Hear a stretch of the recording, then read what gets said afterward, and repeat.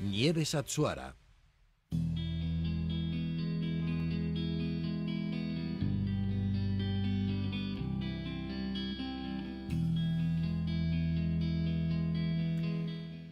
Esta tarde va a estar Rafael Santandreu en Castellón. Va a impartir una charla a las 7 en el aula magna de la Escuela Superior de Tecnología y Ciencias Experimentales de la Universidad Jaume I. Para el que no le conozca, eh, es el autor de El arte de no amargarse la vida, Las gafas de la felicidad o Ser feliz en Alaska. Es uno de los psicólogos más prestigiosos del país. Rafael Santandreu, bienvenido a la radio. Buenos días. Muchas gracias, ¿Qué, igualmente. ¿Qué tal estás? Eh, genial, genial. Aquí pasando un maravilloso día en Castellón. ¿Habías venido otras veces a Castellón? No, es la primera vez. Es la Me- primera vez. Sí, me, me encanta Valencia, Alicante también y me faltaba Castellón. Así que hoy, hoy lo visitaré. ¿Pero de, de visita de un día o vas a quedarte algún día más? No solo hoy, pero Ah. bueno, tendré tiempo para pasearme, que me gusta mucho por las calles y ver cómo, cómo se maneja aquí la gente. Bueno, Rafael, eh, tu último libro es Nada es tan terrible. eh, lo tengo aquí. Es un manual de autoterapia basado en la psicología cognitiva, que es lo que tú trabajas, Ajá. Y que contiene las herramientas de los mejores psicólogos del mundo para dejar de preocuparse, tener cero complejos Mm. o desactivar, por ejemplo, a las personas difíciles. Sí. Todos tus libros, bestsellers, hablan de que hay que ser feliz. En estas páginas está la filosofía, dices, de los más fuertes y felices. Y bueno, ¿qué quieres conseguir con este libro de autoayuda? Bueno, fíjate que pues que la gente tenga una herramienta para hacerse más fuerte a nivel emocional, ¿no? Sin necesidad de ir al psicólogo, porque lo puedes hacer por ti misma o por ti mismo si tienes las herramientas para conseguirlo. Fíjate que yo hago un tipo de psicología que se llama psicología cognitiva o psicología del pensamiento. Y fíjate que parte de una frase que ya dijo el filósofo Epicteto en el siglo I. Fíjate, dijo una frase que en realidad es muy fuerte. ¿eh? Él dijo, no nos afecta lo que nos sucede, sino lo que nos decimos acerca de lo que nos sucede.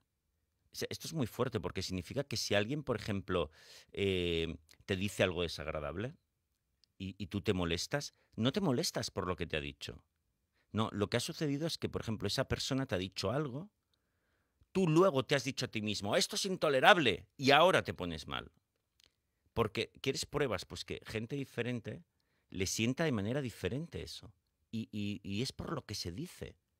Entonces ahí está la clave, en nuestro diálogo interno. Porque las cosas que nos suceden, por increíble que le parezca a la gente, no tienen un peso específico, prácticamente nada. Salvo lo que es de vida o muerte, todo lo demás es tu valoración lo que lo hace bueno o malo. Entonces, las personas más fuertes controlan ese diálogo interno y es lo que enseñamos nosotros en psicología cognitiva o del pensamiento. Ya, pero todo eso es muy difícil de hacer. No, no, no tanto, no tanto. Mira, eh, se parece mucho a aprender inglés, ¿no? ¿Tú qué dirías? ¿Que aprender inglés es mega difícil, es súper fácil? ¿Tú qué dirías? Bueno, si te pones. Claro, pues es lo mismo. Es decir, todo el mundo puede conseguirlo, tampoco es tan difícil. Eso sí, te va a requerir un esfuerzo, una práctica, eso no nos engañemos, ¿no? Y para llegar a niveles muy superiores, pues tendrás que practicar mucho más, ¿no? Pero se trata de cambiar eh, creencias eh, que tú tienes sobre las cosas, sobre la vida, eh, sobre mm, cada cosa que te molesta o no te molesta y, tener una filosofía diferente, ¿no? Te pongo un ejemplo. Antes hablábamos de, de esto, ¿no? Que, por ejemplo, Pepe te dice algo desagradable y, y te molestas mucho. Bueno, esto es porque tú seguramente entonces tienes una creencia irracional que es la siguiente. Todo el mundo me tiene que tratar bien todo el tiempo. Y si no, no lo puedo soportar. Fíjate que esta creencia que tenemos muchas veces es de locos. Porque, en primer lugar, eso no va a suceder. Entonces, joder, ¿por, por qué te impones eso, no? Segundo, pero, pero si no es tan importante. Si la felicidad no depende de que la gente te trate bien o mal, ¿no? Eh, si por caso, ima- imagínate por un milagro, eh, te doy con una varita mágica y todo el mundo te trata súper bien todo el tiempo. ¿Eso te haría feliz automáticamente? No. No, porque la felicidad depende de que tú aproveches la vida, de que vayas a la montaña con tus amigos, de que disfrutes de las cosas. Y no, no so- eso te aburriría al final. Pero ¿por qué le damos tanta importancia? Ah, porque tenemos eso integrado dentro de nuestras creencias. El respeto es súper importante, sin respeto no puedo vivir. Pff, yo no digo que sea malo eso, pero no es tan importante. Entonces fíjate que tienes que cambiar tu escala de valores, tu manera de ver el mundo, para disfrutarlo como estamos llamados, a disfrutar de, de la vida enormemente, porque la vida es súper abundante. La vida está llena de oportunidades siempre, prácticamente siempre. Hay que abrirse y hay que cambiar el chip, esa es la cuestión. ¿La psicoterapia es tu gran pasión, Rafael? Sí, claro, eh, es muy bonito porque tienes la oportunidad de ver el cambio en, en, las personas, ¿no? Muchas veces te llega gente con mucha tendencia a la depresión eh, y verlas cambiar y transformarse, por ejemplo, en la gente más, en las personas más fuertes de su familia, es, sorprendente, ¿verdad? Y es algo muy bonito y nosotros vemos que sucede esto eh, constantemente, ¿no? Y la gente muy quejica, por ejemplo, ¿no? Mira, yo recuerdo que cuando, ahora estamos en un periodo de bonanza, ¿verdad? Económica en principio, ¿no? Pero yo cuando, eh, cuando publiqué mi primer libro que se llamaba El arte de no amargarse la vida, recuerdo que muchos compañeros tuyos cuando iba a entrevistas me decían, me hacían siempre la siguiente pregunta. Me decían, Rafael, ostras, un libro de, de hablando de felicidad con la que está cayendo, ¿no? Allí en el 2012, cuando empezó la crisis. Y yo siempre respondía, pero ¿qué está cayendo? Y lo digo sinceramente, ¿pero qué, está cayendo? Yo no veo que caiga nada. Pero si vivimos en el mejor periodo de la historia de la humanidad, incluso, y de España, incluso en la crisis, ¿eh? Yo diría, pero si nunca hemos tenido tantas oportunidades, tantos bienes en cuanto a la economía, Nunca hemos tenido tanta abundancia. Pregúntale a tus padres, pregúntale a tus abuelos. Pero ¿por qué esta queja absurda? ¿no? Fíjate que la psicología cognitiva se basa en un principio fundamental, en otro principio fundamental, que es que el ser humano solo necesita el agua y la comida del día. Si tú más o menos ya puedes conseguir eso, aunque sea de prestado en el albergue mm. público de tu ciudad, tú ya puedes ser muy feliz. Si lo otro no es necesario, tanto que, que haya tanta mm, bonanza económica, que todo vaya bien, pero si no pasa nada, hombre, si nos sobra de todo. Oye, ¿y qué opinas, Rafael? Decías que este libro es em, para, bueno, es el, el, libro es un manual para eh, que la gente aprenda a, ser más feliz y que no le importe todo tanto, ¿no? Eh, las cosas negativas. Eh, y sin necesidad de ir al psicólogo. ¿Qué opinas tú de que hay gente que le tiene como miedo a ir al psicólogo? de ah, no, el psicólogo no es para mí. No, no tengo un problema mm, con suficiente peso para ir al psicólogo.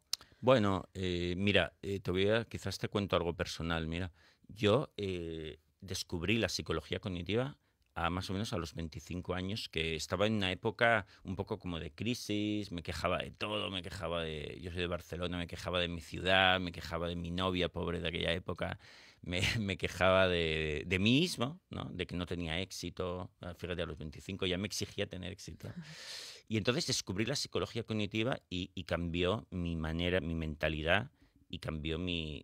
Dejé de quejarme y empecé a valorar lo que tenía y cambió mi vida, ¿no? Entonces, gracias a que descubrí la psicología cognitiva, ¿no? Entonces, bueno, eh, la verdad es que un, una buena psicología, eh, un buen sistema de valores, una nueva filosofía te puede cambiar la manera de ver el mundo, ¿no? Entonces, bueno, lo puedes aprovechar o no lo puedes aprovechar. Si tú piensas, bueno, yo no necesito de eso, yo no quiero aprender de eso, pues vale, pues está bien, no, no digo que no.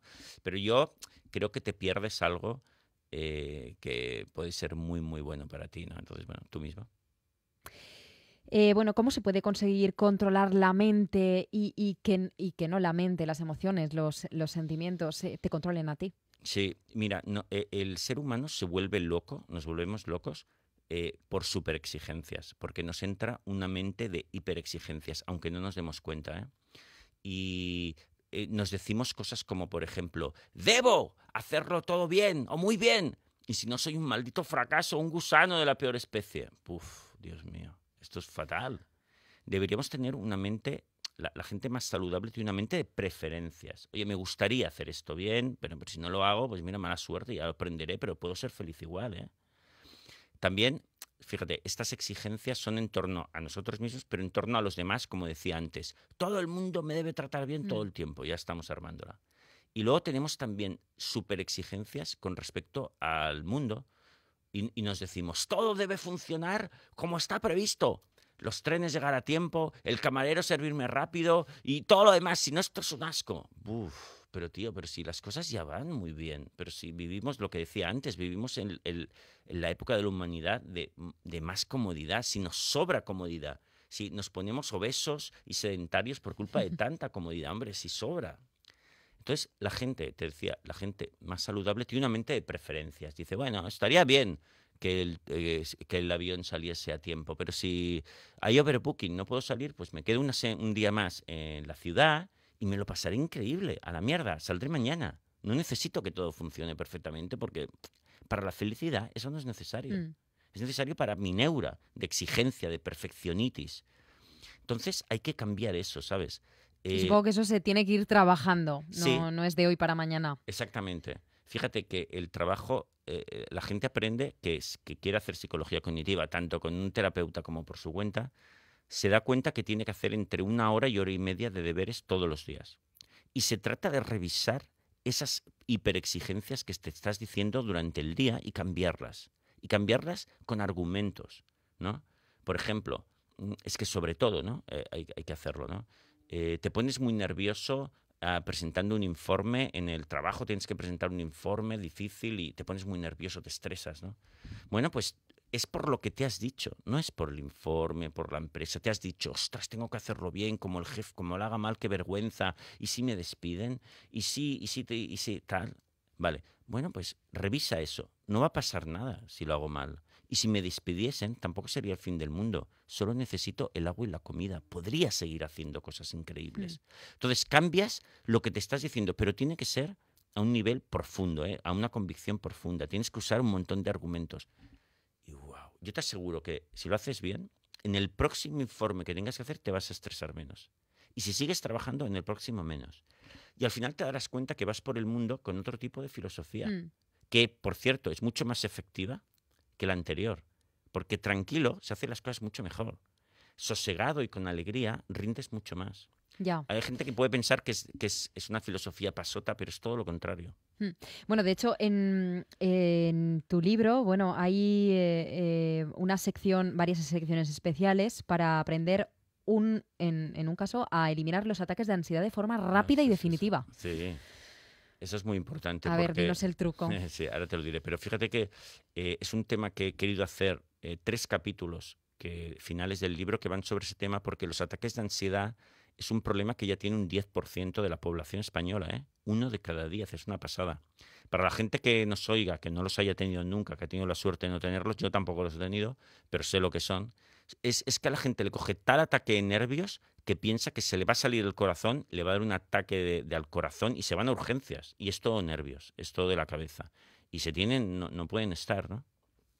Puede ir ligado también a un mareo muy fuerte, tal, pero la gente le coge una crisis que, se tiene que tomar unos tranquilizantes ya. Vale, pues eso, em, hay, un, hay un método que lleva muchos años, eh, décadas utilizándose, que lo llamamos el método conductual, que se trata que dejes de tenerle miedo al miedo, que dejes de tenerle miedo a ese propio ataque de ansiedad. Tienes que verlo de otra manera, tienes que hacerte amigo de él, tienes que pasarlo con tranquilidad, hay, cuatro pasos para lograrlo, ¿no? Uno es afrontar, otro es aceptarlo, otro es flotar con tranquilidad, hacer las cosas con tranquilidad y luego es dejar pasar el tiempo. Entonces, de esa manera, como que atravesamos esa, tempestad y aprendemos que la ansiedad, bueno, no es algo tan malo y cuando dejas de tenerle miedo, acaba desapareciendo. Es un pequeño proceso que hay que llevar a cabo. Y ya por último, el mindful, mindfulness, de tercera generación del que hablas, ¿qué es? Mira, mucha gente eh, lleva a cabo meditación budista, cada vez más personas, ¿no? O mindfulness, que es lo mismo, ¿no? Que se trata de, bueno, básicamente de sentarse, hacer meditación durante una hora al día, media hora al día, y aprender a pasar página.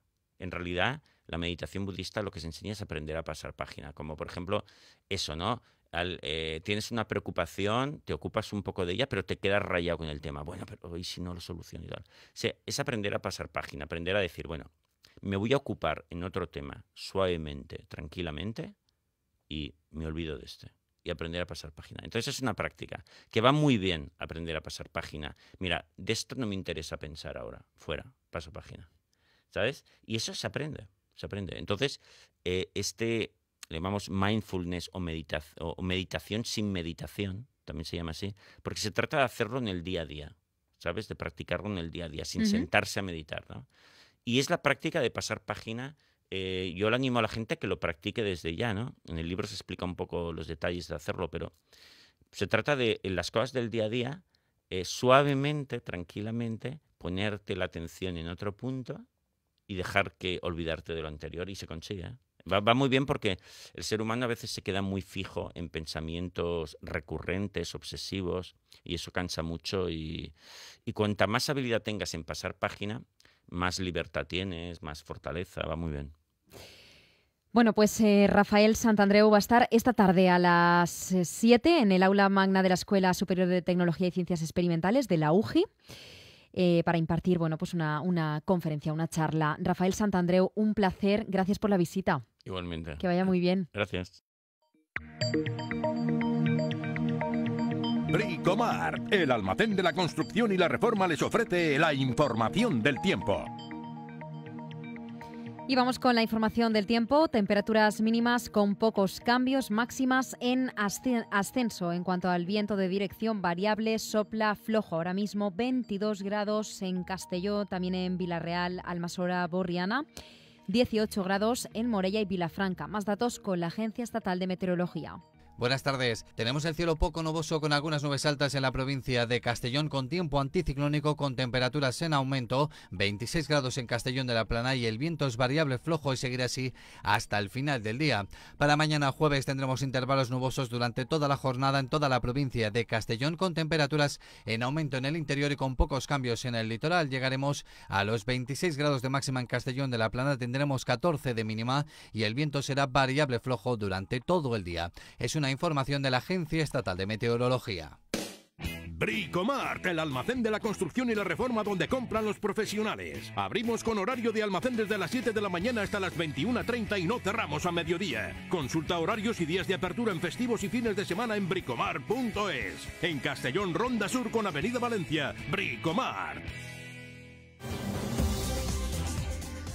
Bueno, después de conocer la información del tiempo, el pronóstico del tiempo para las próximas horas, nosotros llegamos a la una, noticias nacionales e internacionales. A la vuelta seguimos aquí con más contenidos en Hoy por Hoy Castellón. Hasta ahora mismo.